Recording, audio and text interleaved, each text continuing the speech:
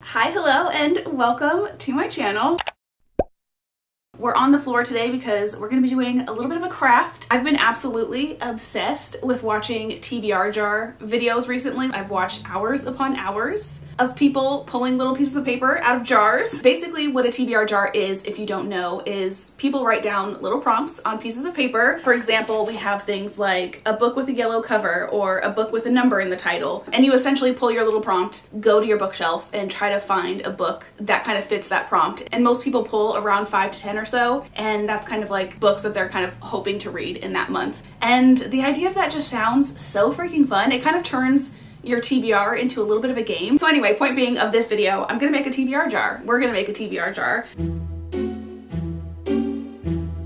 I spent a good couple of hours scrolling through just like the internet in general and then also when I'm actually watching the videos if any of their prompts that they pull sound fun then I've been writing them down and I've basically collected a list a very, very long list of a little over a hundred different prompts. I printed them just because, I mean, a hundred plus prompts is a lot to write down. And I put them on green paper because our jar that we have is not your typical TBR jar jar. Typically when people have TBR jars, they literally put their prompts or their books or whatever in an actual jar. I have also seen like bowls and sometimes people use like little coffee mugs or something like that. But as an avid thrifter, I thought it would be most fitting and most fun for myself to use a thrifted glass container of some sort. I thrifted this like over a year ago and it's just kind of been sitting on a shelf looking pretty but very unused and I'm really excited to finally have a use for this. Is this not like the cutest frigging thing. And like I said, I thought it'd be really cute if I actually put like little green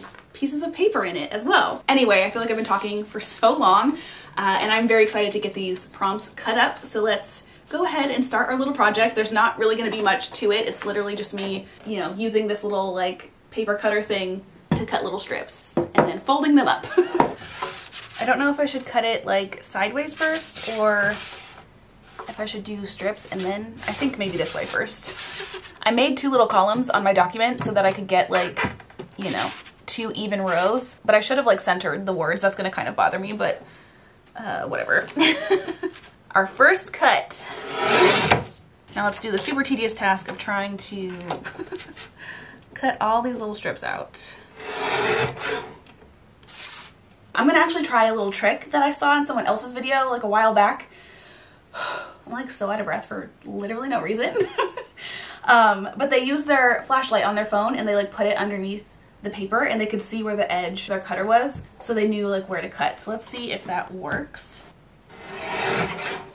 Oh yeah, sweet. Okay, works perfectly. and also I'm thinking maybe I'll trim some of this like excess off the side because like the margins kind of a thing we'll see. I'm gonna play around with it. At the end of the day, it's just like a fun little TBR jar, so it's not that serious, but I get really crazy with my projects. Most of the prompts that I ended up picking are kind of like the typical prompts.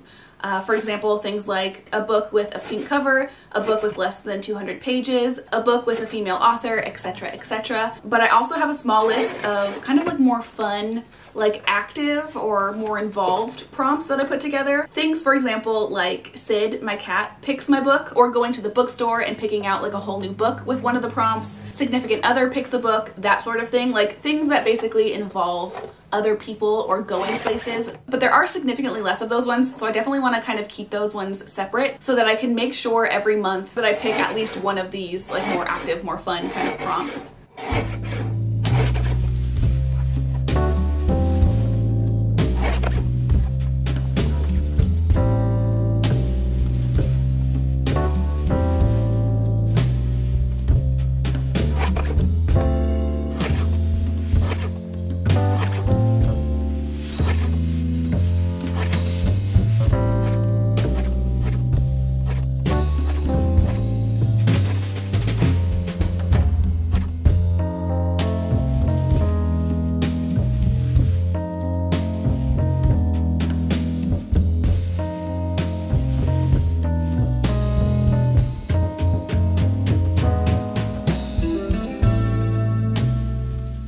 Almost done with the folding. I just have to do the like special prompts and we did have a little bit of an accident. I didn't give myself enough space at the bottom of the paper.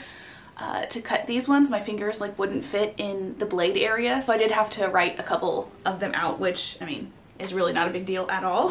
uh, and I've decided to go ahead and just put them in with the rest of the prompts. I was gonna keep them separate, but I did make them a totally different color. So I'll just make sure that I pick one of these colors every time. So that's what we're gonna do. I have a knack for making things more complicated than they need to be and I don't feel like a TBR jar is something that should be complicated. Also, that little like light trick worked really well for um, the lighter color construction paper, but the other two colors were too dark, so uh, I had to just kind of wing it. and so far, this has been a pretty fun little project. Very last one in our little TBR jar. I am so so freaking excited. I'm not gonna be filming a prompt video for this month because I've already planned all of my videos for April, but I am really excited about this jar and I do really want to at least pull one. So we're gonna go ahead and just actually pull one of them right now together. And I think it would be really fun to go to the library and use the prompt to pick a book from the library. So let's go ahead and pick a prompt. I'm gonna go with this one. And what does it say? This was actually one of the ones I was like hoping to pull sooner than later because it just seems really fun. Uh, so this one is random generated first letter in a title. So basically I'm gonna find a letter generator and then that letter will be the first letter in a title. All right, so let's go ahead and pull up a letter generator. And apparently I've already looked up generators before. um, should we use that one? Let's do the wheel, a letter wheel, because that sounds kind of fun. And we're gonna spin the button. It even has a sound effect. That sounds honestly kind of awful. I. The letter I.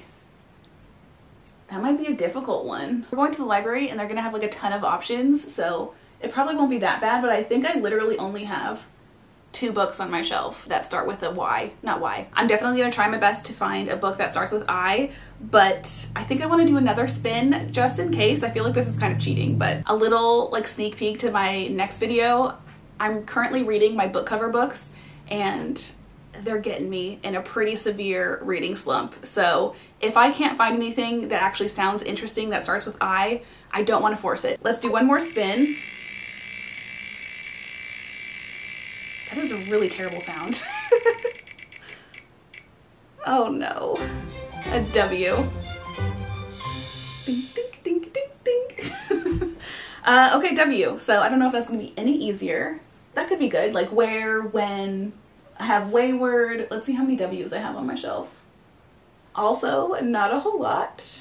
I'm seeing one. I also don't have the greatest vision and my books are kind of far away, but I'm thinking only one. So one more spin. One more spin. This is gonna be like a last ditch, desperate measures type of situation. Can we get a regular letter, please? F. F. Okay. We have our three options. We're gonna stick with that. I need to stop. I'm gonna just pick 26 different letters. Okay, so I, first off, if we really can't find an I, then a W, and if really all else fails, we're gonna do an F. For my actual TBR picks, I'm not gonna be this lenient. We're gonna really try our best uh, to do like the first option or whatever. But again, because I'm already kind of like in a reading slump, I don't want I don't want to get any further into it.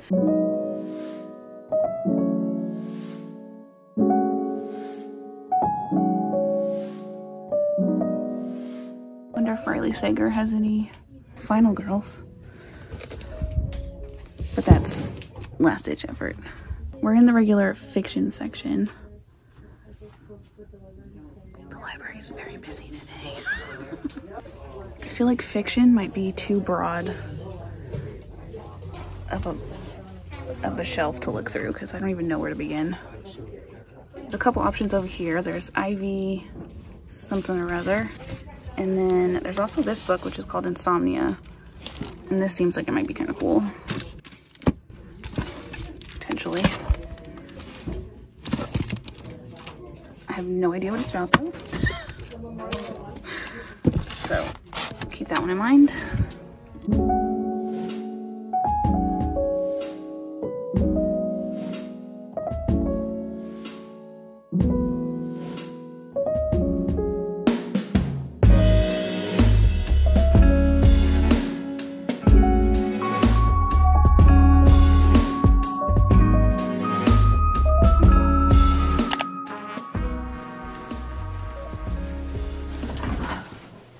Story. I live in the middle of nowhere, so literally every single time I've gone to the library, I think there's maybe been maybe three other people in the library. Yesterday, there were so many people. My library does like a lot of like book club things for kids or like crafts and things like that, and I think they were doing like an Easter one or something. So there was lots of kids like right in the middle of the library. There was a table just full of children and their moms. I just kind of was like trying to be as stealthy as I could with my footage and not talk. So anyway, so that was our little trip to the library, and I did get a bag full of of books, but I am going to start off with the book that I got for the prompt, which was so much harder than I thought it was going to be. Like I thought it was going to be kind of difficult to find a book that started with I, but I figured we were in a library. There was going to be tons of books, but I also was having trouble finding W's and F's as well. So either way it went, uh, it was a difficult task, but it was fun. So anyway, the book that I ended up getting is called It Devours, and this is by Joseph Fink and Jeffrey Cranor. If you saw my last video, I did read The House in the Cerulean Sea last month,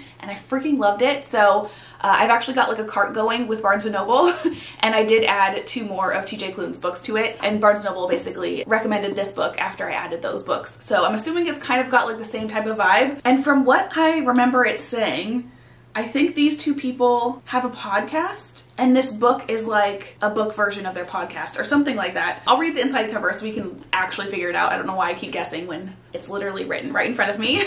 Welcome to Night Vale, a friendly desert community somewhere in the American Southwest where ghosts, angels, aliens, and government conspiracies are part of everyday life. Ooh, this person's name is different. is an outsider to the town of Night Vale. Working for Carlos, the town's top scientist, she relies on fact and logic as her guiding principles. But all of that is put into question when Carlos gives her a special assignment investigating a mysterious rumbling in the desert wasteland outside of town. This investigation leads her to the joyous congregation of the Smiling God and to Daryl, one of its most committed members. Caught between her beliefs in the ultimate power of science and her growing attraction to Daryl, she begins to suspect the congregation is planning a ritual that could threaten the lives of everyone in town totally not what I was expecting, but I'm pretty excited about it. I don't know if I'm actually gonna fully finish this book this month or in the next two weeks rather because I did check it out from the library, but I'm kind of using this as an opportunity to try out the book, like read a little bit of it first before I buy it. But anyway, I also got three other books that I thought could be interesting. The first one is The Sea Witch by Katee Robert. This is the fifth book in the Wicked Series, and this is basically a series of like super spicy Disney retellings. It's kind of funny because like the first one really had absolutely nothing to do, even though it had like the names Jafar and Jasmine, it had absolutely nothing to do with Aladdin as like a movie, which was a little disappointing, but also, like I said, these are super, super spicy, like kind of cringy spicy. At least the other one was, the one that I've read. And if you saw my reading wrap up for January, which was the very first video that I uploaded on this channel, I did end up giving it a two star rating because I didn't really particularly like it. And when I got done reading that first one, I wasn't planning on reading any more of these books because again, it just wasn't my preference. But I decided to pick this one up on a whim for some reason. We're giving it another shot. Once upon a time, I met a man and he stole my heart. In my desperation to reunite with him, I have nowhere to turn but the Sea Witch. Ursa, which is another thing that I noticed when reading the back of the books, uh, like for Desperate Measures, she did, the author did actually use Jafar and Jasmine as the names, but in a lot of the other ones, she like takes a letter or two away from the names. But you can tell obviously who she's trying to reference, and I just thought it was kind of like a weird, kind of funny choice to make, but Uh, anyway, so it says Ursa is as beautiful as she is dangerous, and the one person my father warned me never to trust. But she's all crimson lips and sweet lies that hint at deeper truths beneath the surface. And I'm convinced, despite my fear. It's a simple enough plan, if not for the faint of heart, an auction to sell the one thing I possess of any value myself. The money will free Alaric. Is that supposed to be Eric? and then we can finally be together. So that's that. Next up I have Nettle and Bone and this is by T. Kingfisher. I love the artwork in the front. This like a skeleton animal. Looks like maybe a dog or something. What does the back look like? The back of the book has a similar kind of vibe with like spooky trees and stuff, but a little image of a girl in the back. After reading The Cerulean Sea and Emily Wilde's Encyclopaedia of Faeries, I went on YouTube and I searched and watched a few like cozy fantasy recommendation videos. And this book was actually mentioned in a couple of different videos. So I thought I would give it a shot. And this is basically about a girl who is trying to rescue her sister and she has to do like three impossible tasks, which are build a dog of bones. So that's where our little bone animal comes from. Sew a Cloak of Nettles, which the girl in the back definitely looks like she's wearing some kind of like raggedy looking cloak. So it makes sense that it's made of nettles, like a plant. Um, and then Capture Moonlight in a Jar. It does sound a little darker than the cozy fantasy vibes that I think I'm kind of looking for, but I think it'll be a fun read. So, and it's really quick. That was another thing that I kind of wanted to make sure that I got. I do have a very full plate already this month because I've already planned all the videos. So all the books that I got are pretty thin. So if I do want to read them, I can just kind of read them really quick. And then the very last book that I have, I got very much just on a whim because I thought the cover was really cute. but this one is called Cat Out of Hell by Lynne Truss. And this is what the cover looks like. How adorable is that? For people who both love and hate cats comes the tale of Alec Charlesworth, a librarian who finds himself suddenly alone. He's lost his job and his beloved wife has just died. Overcome by grief, he searches for clues about her disappearance in a file of interviews between a man called Wiggy and a cat named Roger, who speaks. And that's literally all I read to know that I wanted to grab this because a cat that can talk sounds like a blast to me. Anyway, that is my little library book haul and definitely make sure to stay tuned for our very first TBR jar picks, my like May readings, which will be uploaded within the first week of May. I'm not sure exactly what day yet, but within that first week. But anyway, this was like a super fun, just kind of like chill video to film. I hope you guys enjoyed it. I hope you have slash have had the most amazing of days and I will hopefully see you guys in the next one. Bye.